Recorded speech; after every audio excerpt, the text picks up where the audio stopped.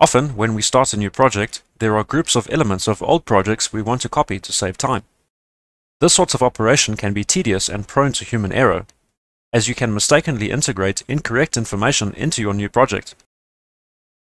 SkyCAD's Design by System feature solves this problem by allowing you to define a system and save it to catalog so it can be reused as many times as you want.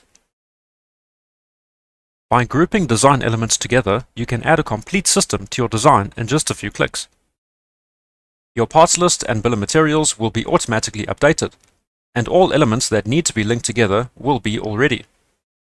Once systems are added to a project, each can easily be modified to suit the specific requirements of the project, such as changing a part number, adding a cable, or removing terminals that are not required in that case. A system is a saved group of elements that you can use as many times as you want in as many projects as you want. Anything and everything you saved to a system will be automatically added to any project you want, whether it's schematics, components, IOs, terminals, panel layouts, and more. Get your free standard license of SkyCAD Electrical at skycad.ca.